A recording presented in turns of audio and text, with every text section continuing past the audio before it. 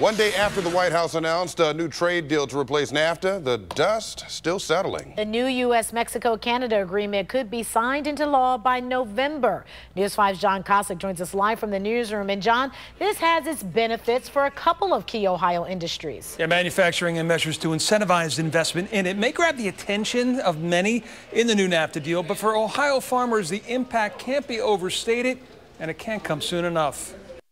While many industries like manufacturing suffered under NAFTA, many aspects of farming did not. From 1995 to 2015, for example, U.S. corn exports to Mexico went from just over $400 million a year to $2.4 billion. It's the Canadian markets where Ohio farmers say they saw barriers that they hope now will come down. Dairy farmers, for instance, a gallon of milk in Canada, a U.S. gallon of milk in Canada is three times more expensive than it is a Canadian gallon of milk. Well, those hopefully will go away with this new deal. And Chuck Sayre is happy for them and for the corn farmers, but his family's primary crop in Portage County is around 1,500 acres of soybeans, a crop that has been hit hard by the 25% tariff imposed this summer by China in an escalating trade war with the U.S.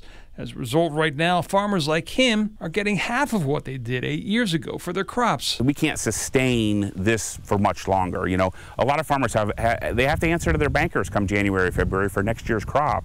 And um, if this doesn't get solved soon, you know, they're going to be in a lot of trouble. The Sayres also operate a crop dusting business, so they're constantly talking with farmers around the state and they've found as tough as the hit might be right now, support remains strong for the Trump administration's effort to level what has been an unlevel playing field. The things have been tapering off for years, not, not just the previous administration, but administrations before that. We need things to be more fair and allow us to sell our product. Work a deal now with China like they were able to do with Mexico and Canada. And that's what we're hoping, but it needs to be on the short term. I mean, it needs to happen, it needs to happen quickly.